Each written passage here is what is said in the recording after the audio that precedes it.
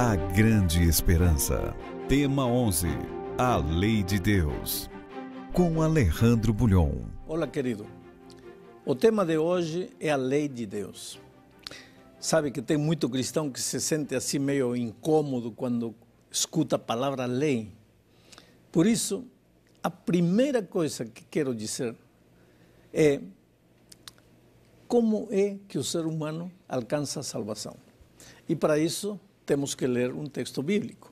Efésios capítulo 2, versos 8 e 9 diz: Porque pela graça sois salvos por meio da fé. E isto não vem de vós, é dom de Deus. Não vem das obras para que ninguém se glorie. Está claro. Somos salvos unicamente pela graça maravilhosa de Deus. Somos salvos unicamente pela misericórdia de Jesus. Somos salvos unicamente pela fé no sacrifício que o Senhor Jesus fez na cruz do Calvário. Não somos salvos pelas obras. Não é a obediência à lei de Deus que garante a nossa salvação. Não é porque você guarda o sábado, porque você devolve o dízimo, porque você faz isso, porque você faz aquilo, que você vai se salvar. A primeira coisa que você tem que colocar na cabeça é: somos salvos unicamente pela graça maravilhosa, pelo amor maravilhoso de, do Senhor Jesus Cristo. E então vem a pergunta: e então a lei para quê? Se somos salvos unicamente pela graça, lei para quê? Ah, deixa então que a Bíblia te responda essa pergunta. Romanos, capítulo 7, versos 7 e 12 diz: Que diremos, pois? É a lei pecado? De modo nenhum. Contudo, eu não conheci o pecado, senão pela lei. Porque eu não conheceria a concupiscência se a lei não dissesse: não cobiçarás. De modo que a lei é santa e o mandamento santo, justo e bom. Entende o que vou te dizer? Primeiro,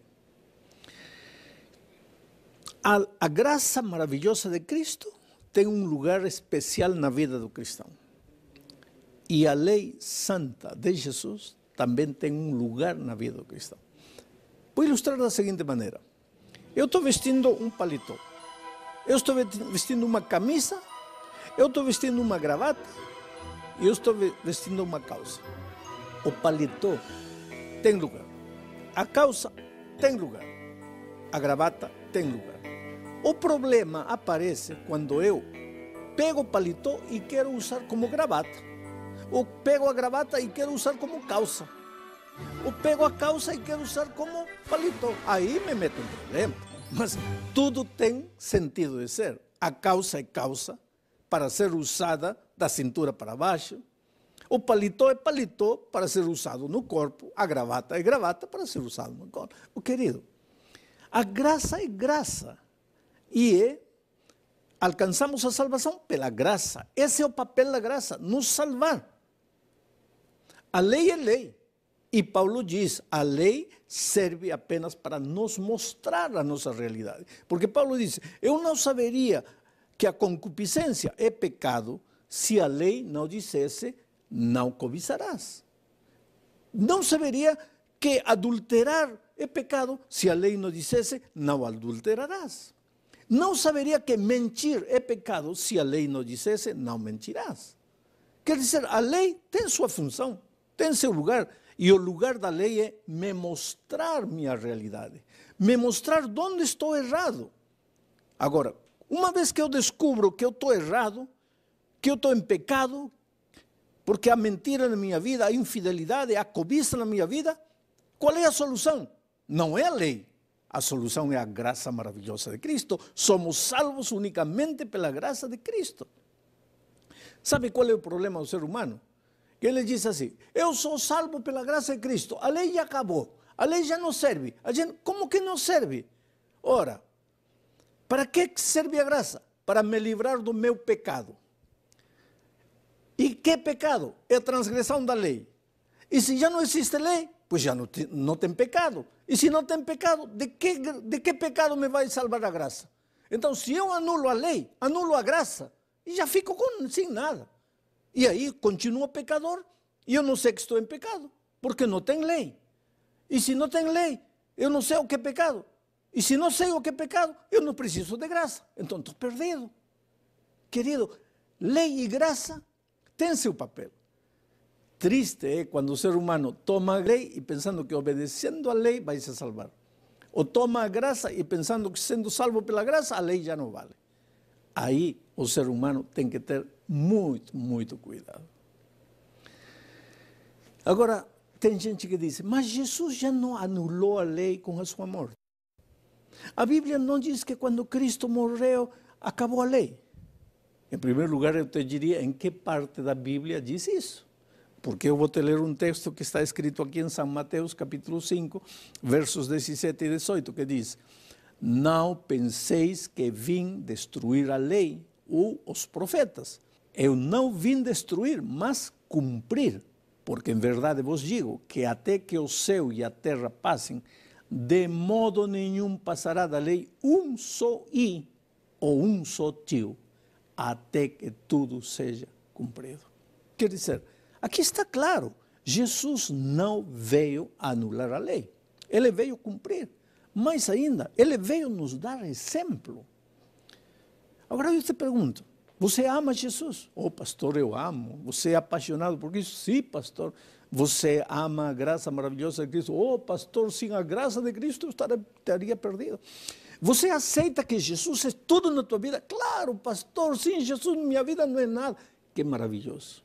Que maravilhoso que você ama Jesus. Agora, como você prova seu amor por Cristo? Veja o que diz São João, capítulo 14, verso 15. Se me amardes, guardareis os meus mandamentos. Então, eu vou te perguntar agora, querido, você ama Jesus? Eh, eh, calma, calma, não se apresse em responder.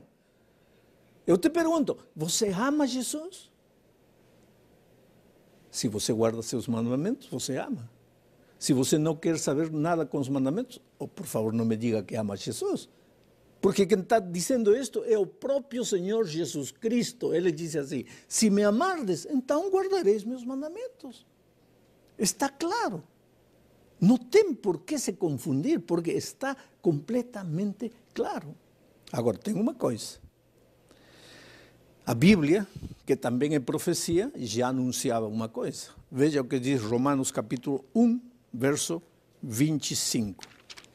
Diz: Pois trocaram a verdade de Deus pela mentira e adoraram e serviram a criatura antes que ao Criador, que é bendito eternamente. Amém. Ah, os seres humanos que não têm a Cristo no coração, porque para ter a Cristo no coração não basta dizer eu creio em Cristo, eu amo Jesus. Tem, já falei e, Jesus disse claramente isso, que quando Cristo voltar, não todo aquele que diz Senhor, Senhor entrará no reino dos céus. Não basta dizer Senhor, Senhor para ter Cristo no coração. Mas gente que não tenha Cristo no coração vai tentar trocar a lei de Deus. Vai tentar mudar a lei de Deus. E aí está o perigo. Veja o que diz São Marcos, capítulo 7, versos 6 a 9. Diz assim: Respondeu-lhes Bem profetizou Isaías acerca de vós, hipócritas, como está escrito: Este povo honra-me com os lábios, e seu coração, porém, está longe de mim. Mas em vão me adoram, ensinando doutrinas que são preceitos de homens. Vos deixais os mandamentos de Deus e vos apegais a tradições dos homens. Disse-lhes ainda: Bem sabeis rejeitar o mandamento de Deus para guardardes a vossa tradição. Oh, querido, cuidado. Cuidado. Não basta dizer eu amo Jesus. Não basta dizer eu estou seguindo as tradições da igreja. Tradições de igreja? Palavra de Deus ou tradição de igreja? A santa lei de Deus eterna, porque é o reflexo do caráter de Deus, ou tradição da igreja. O que, que você vai fazer? O que decisão você vai tomar? Digo mais uma coisa. Se você diz que conhece ao Senhor, o que, que deveria fazer? Vamos ler 1 de João, capítulo 2, verso 4. Diz assim: Aquele que diz, Eu o conheço, e não guarda os seus mandamentos, é mentiroso, e nele não está a verdade. Isto me faz pensar seriamente. Porque se eu digo, eu te amo, mas não quero guardar os mandamentos, o próprio Senhor Jesus disse: Eu sou um mentiroso. E você acha que os mentirosos entrarão no reino dos céus? Então, querido, há momentos na vida em que a gente precisa tomar decisões. Há momentos na vida em que a gente precisa, por mais. Outro dia eu estava viajando para os Estados Unidos, uma menina chorava, chorava, chorava, na hora de se despedir fora do aeroporto lá na sala de espera, chorava, chorava. E quando entro no avião, descubro que ela está sentada a, mim, a, a meu lado, chorando, chorando. Eu falei, olha, se te dói tanto, por que está indo para os Estados Unidos? E ela disse, é que eu quero aprender inglês. Ah, quer aprender inglês? Então, para aprender inglês, tem que fazer um sacrifício. E tem que chorar. Oh, querido, quando você encontra a palavra de Deus, não é só aprender inglês. A vida eterna, a liberdade em Cristo.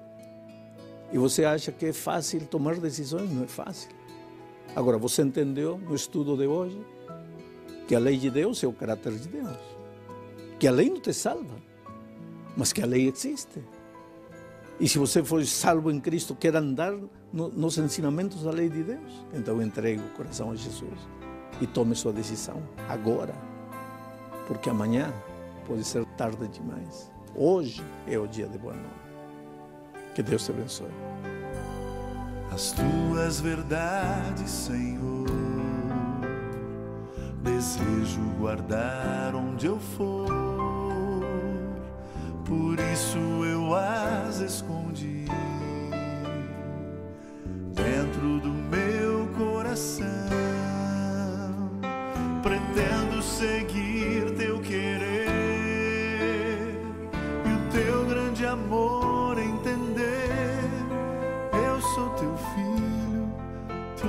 meu Pai, da tua mão eu não largo jamais.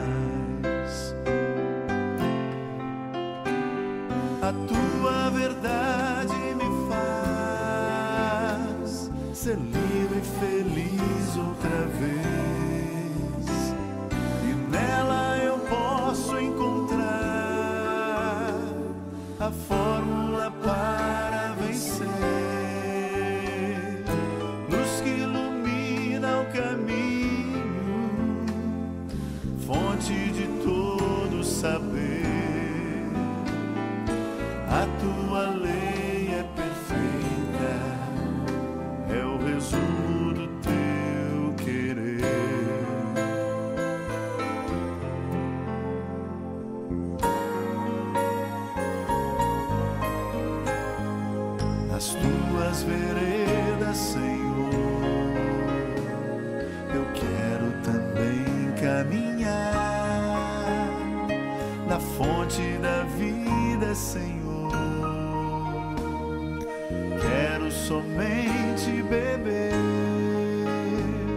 eu quero saciar minha sede, a sede de te conhecer.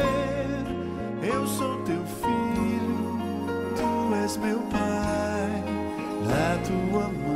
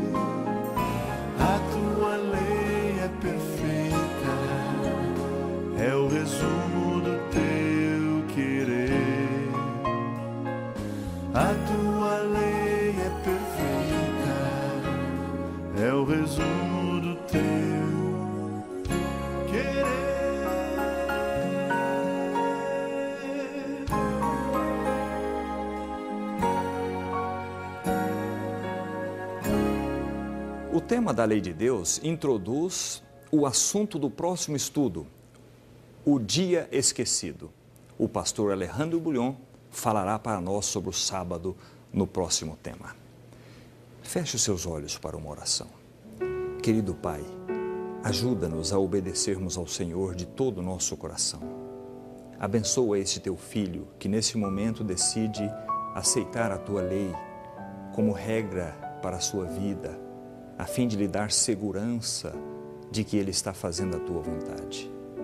Conserve-o em teus caminhos. Em nome de Jesus. Amém.